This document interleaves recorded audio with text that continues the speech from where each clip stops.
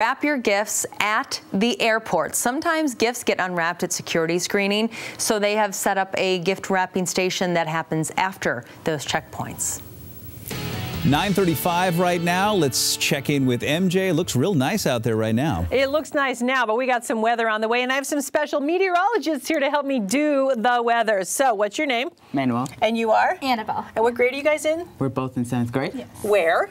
Orca K8. Orca K, that's South Seattle, right? Yeah. And you're in a special class to help you make presentations and stuff. What's it called?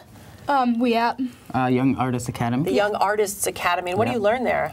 um, just how to express ourselves through writing. Voice projection and how to present ourselves. Very good. Well, we'll test that right now. Use your voice projection to say hi to your friends and your teachers. Hi, Miss Taylor. Hi, Miss Talbert. Hi, Dante. Hey, May. Hi, Raj.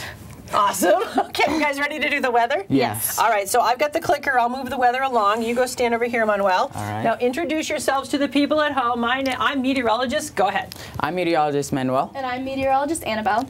and today we're going to do Doppler radio satellite this morning. So it looks like there's a lot of big stormy weather coming into the mountains and the lowlands. Um, there's going to be a lot of snow in the mountains and a lot of rain in the lowlands. Now we're moving on to temperatures, right now. In Seattle, it's going to be at 41 degrees, Bellevue is going to be at 39, and SeaTac would be at 37. and Port Angeles is going to be at 36. Point, point over your head. There it is, It's right there. nice job pointing. Okay, our day planner.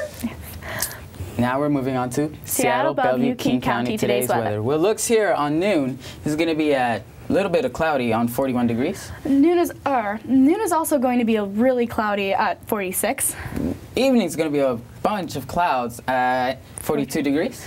And, and um, tonight is going to be really rainy at 37. Very good. And your seven-day weather planner. Now we're moving on to weather planner.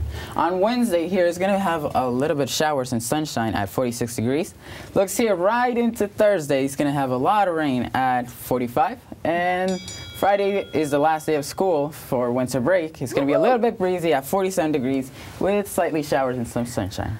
Now Saturday is going to be a little, well, a lot rainy, um, with some sunshine at 45, or I mean 44.